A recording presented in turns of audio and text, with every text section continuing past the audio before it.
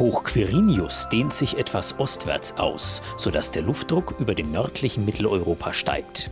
In der kommenden Nacht sinken die Tiefstwerte auf bis zu 6 Grad. Dazu ist es vielerorts bedeckt, gebietsweise regnet es.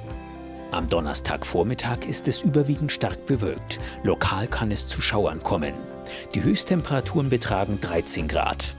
Am Nachmittag kann die Sonne hinter den dichten Wolken nur selten hervorspitzen. Temperaturtechnisch ändert sich nicht viel. Gegen Abend wird es wieder kühler. Auf bis zu 15 Grad klettern die Temperaturen am Freitag. Vereinzelt regnet es. Bei Höchstwerten um 20 Grad scheint am Samstag überwiegend die Sonne.